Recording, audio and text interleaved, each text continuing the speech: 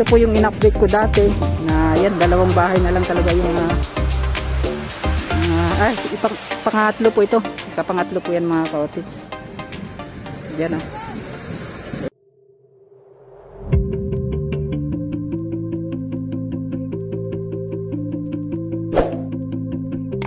You what's up mga cottage at nakita po ninyo yun uh, dyan po sa may ginagawang um, Ruas Rotonda na uh, double barrel na box culvert po mga cottage ay pupuntahan po natin yan. So nakikita natin yung may nag-ooperation po dun mga cottage at yun titignan natin kung ano po yung mga ginagawa nila dun.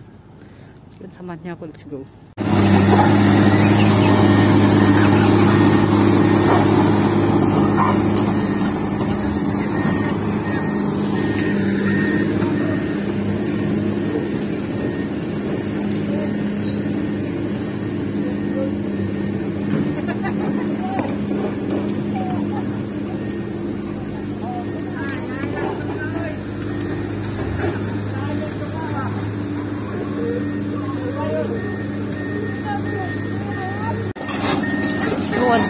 kautits at magandang hapon.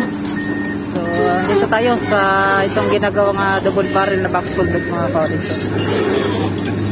so may mga bako po dito. Ah nagbuhos pala sila mga kautits yan no? May buhos palang uh, gagawin dito banda. Yan at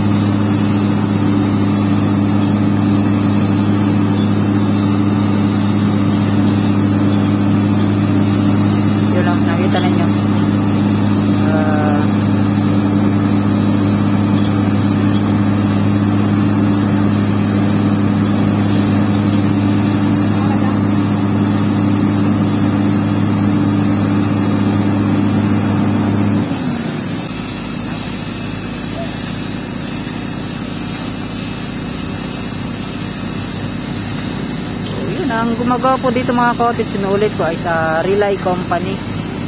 So doon banda sa may yung extension mga cottage doon sa loob na yan sa mga ginigibang mga bahay ay high view na po yung nakakuha po ng uh, subcon dyan sa loob. Yan nakikita natin dito banda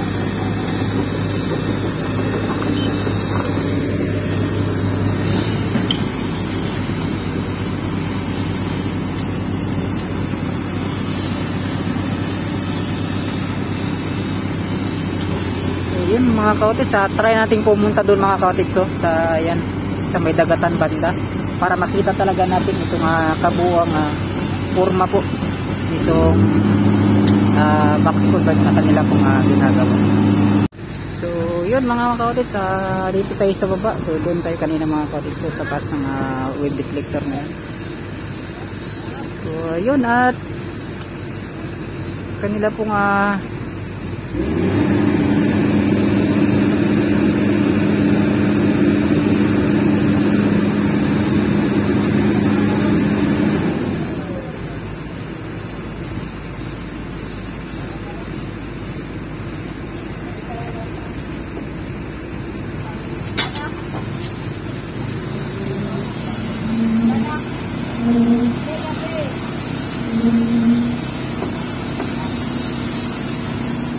ganitong oras mga kaotits, ah, di pa kasi ah, high tide, low tide pa ngayon, kaya talagang um, trinabaho talaga nilang mang maayos dito mga kaotits.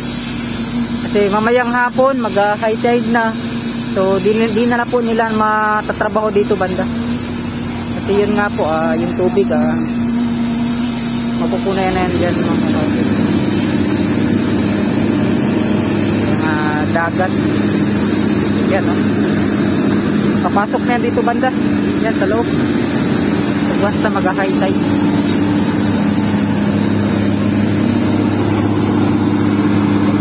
So, yun at dito tayo mga kautit. So, try natin dyan sa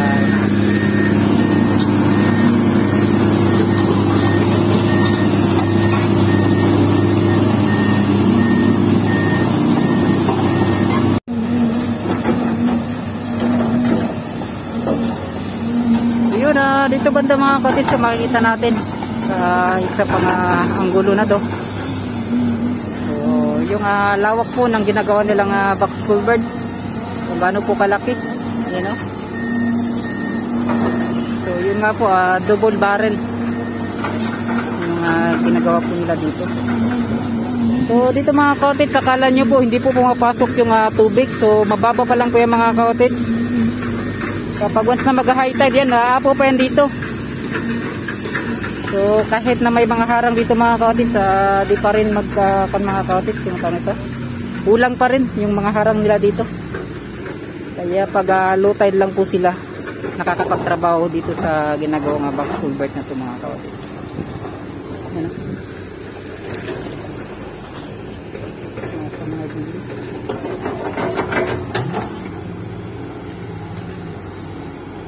At yun, at pupuntahan naman natin dun sa loob mga kakatits yung sa may uh, informal settler mga kakatits kung ano na po yung mga uh, tawag nito yung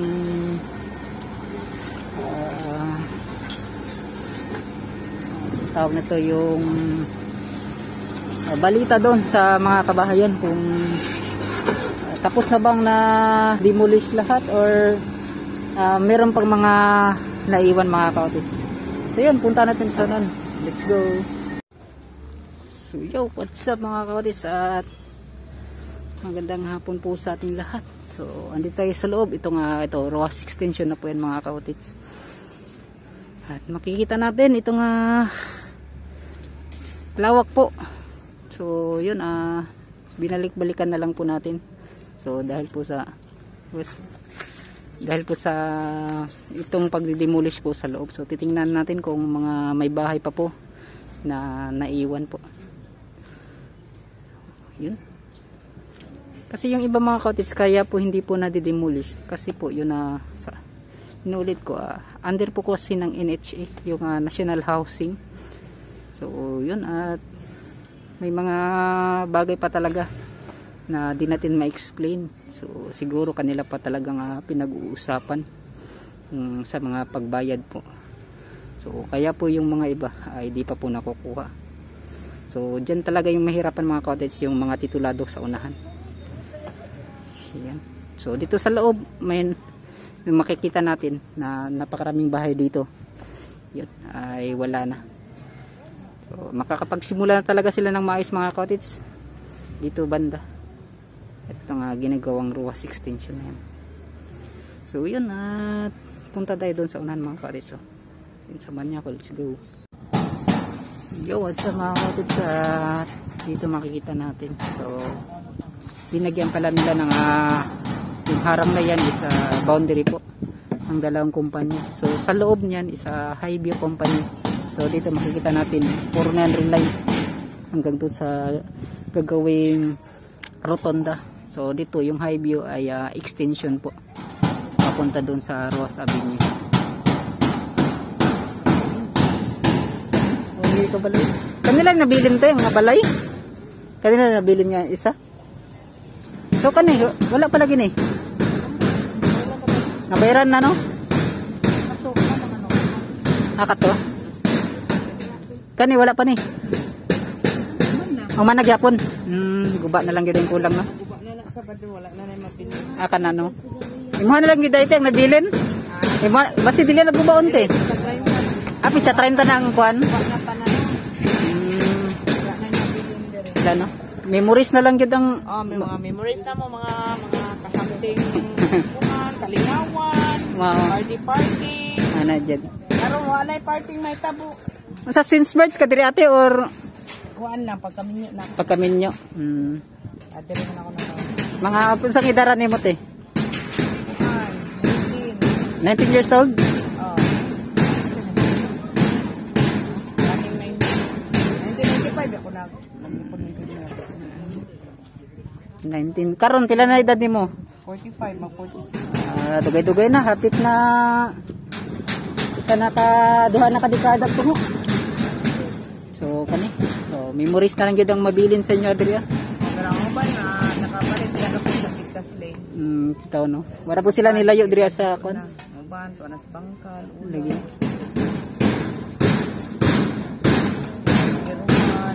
Hmm.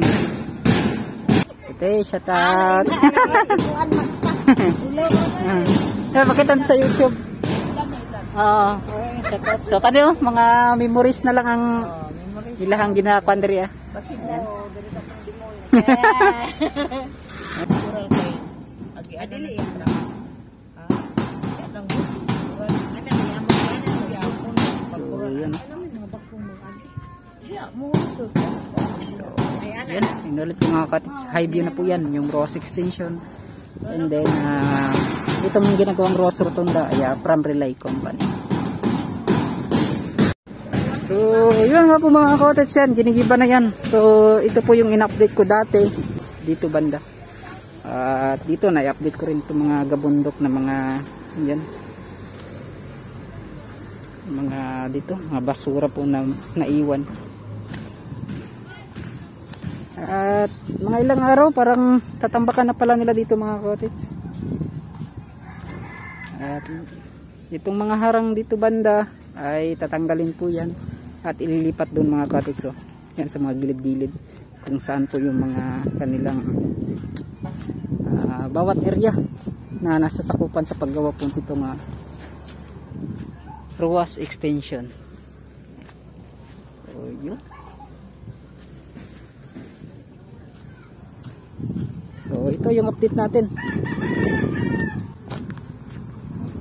So ito yung sinasabi nating boundary. At itong harang na nakita natin. So dito ilalagay mga kodis. So, yan, paplastar po yan dito banda.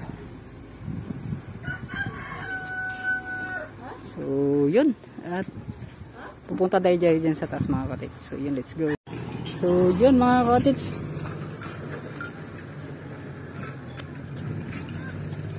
At naipakita ko sa inyo itong ah So yan, second pumping station na to. So doon po tayo kanina. Yan, sa loob na yan mga cottage. So dito banda mga cottage, nakita natin na itong ah dito sa gilid. Yan, ipaliliko na po yan sila mga cottage. Paliko na po yan sila. So dyan, matatamaan po yan mga cottage. So, para po ma forma po itong uh, ginagawang ruwas rotonda so dyan banda mga cottage grabe napakalawak pala mga cottage yung uh, talagang uh, pinu nakuha dito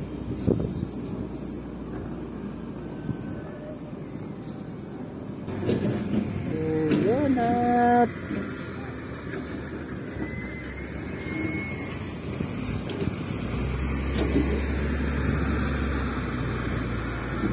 So, sa next vlog naman natin mga korits, dyan banda. oh.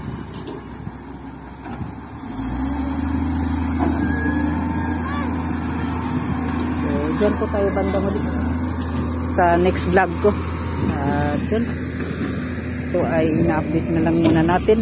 Kasi wala tayong masyadong mga content ngayon na pupuntahan. So, binalikan ko po ito mga Ruwas Rotonda.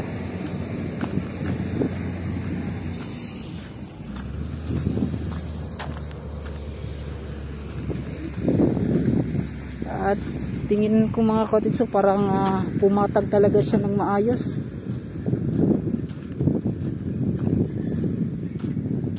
Kasi yun nga po, napakaraming ah, box culvert dito. Yan oh, parang natatabunan na yung ah, ibang box culvert. Dahil po sa pagtambak po nila nitong mga lupa dito banda mga cottage.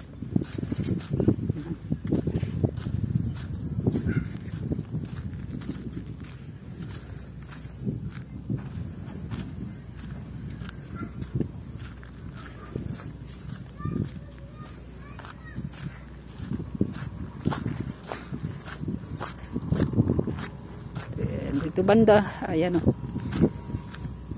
Napakarami na palang ah, nagawa nilang ito nga one by one concrete block.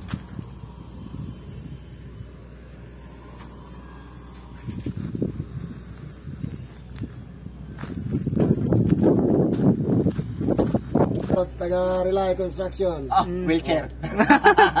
Ay, nasigo. Kuni ba, seryoso ro kayo. Manira, suki manira ni ba? Suki manira kaya pag man pag siya tirahon. Bot na lang mo, I don't care na lang. Gibang diri na dira no para sa ilaha. Mm, ba? Project. Dili kaya mama dili. napagyapon day may tambak tira no. Hmm. Lima Kano sa natin niya tambak nung dira sa sulod tambakan. Ha? Kano sa ninyo tambakan dira sulod. mga balay. Pa yung mga balay no.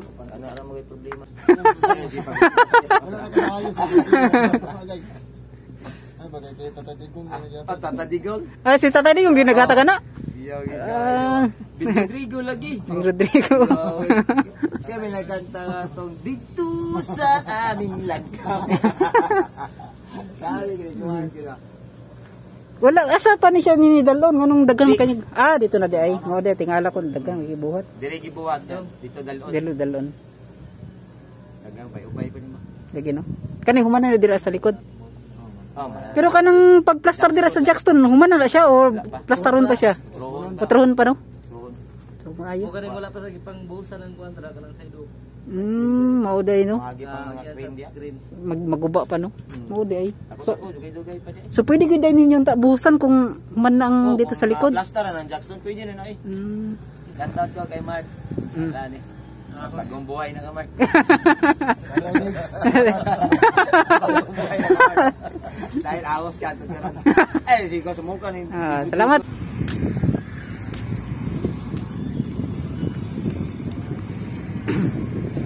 So, mega shoutout pala kay Sir Mario Ramos, yung taga saan ba yun? Mintal ba yun? Or sa may Talinan? Or sa Olas. So, taga doon mga, mga. Si Sir Mario Ramos, sila po yung ah, gumagawa nitong napakatibay po na box culvert na to. Yan o. Grabe, sobrang dami. Yan. Uy, turo. Sila boss. Boss! so, pupunta tayo mamaya dyan mga cottage. Hmm. So, ito, ah, dito banda, ay pinasilip ko lang sa inyo mga cottage yung paggawa pala ng ah, double barrel na yan. So, makita niyo talaga yung lawak at laki nitong ah, daanan po ng tubig kanal. Ah, daluyan po ng ah, tubig kanal na galing doon sa may uh, Roas Avenue and then yan. At dito po mag end po yung ah, daluyan po ng ah, tubig. So ito at